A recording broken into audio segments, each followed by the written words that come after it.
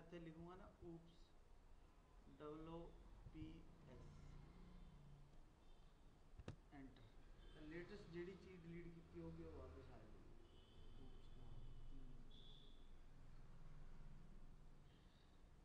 ਹੁਣ ਮੈਂ ਕੀ ਕੀਤਾ?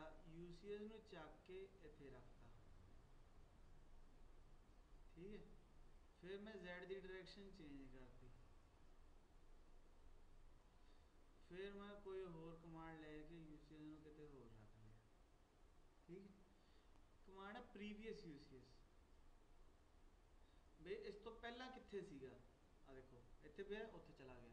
ਫਿਰ ਇਸ ਤੋਂ ਪਹਿਲਾਂ ਕਿੱਥੇ ਸੀਗਾ? ਉੱਥੇ ਆ ਗਿਆ। ਇਸ ਤੋਂ ਪਹਿਲਾਂ ਕਿੱਥੇ ਸੀਗਾ? ਉੱਥੇ ਆ ਗਿਆ। ਇਸ ਤੋਂ ਪਹਿਲਾਂ ਕਿੱਥੇ ਸੀਗਾ? ਪ੍ਰੀਵੀਅਸ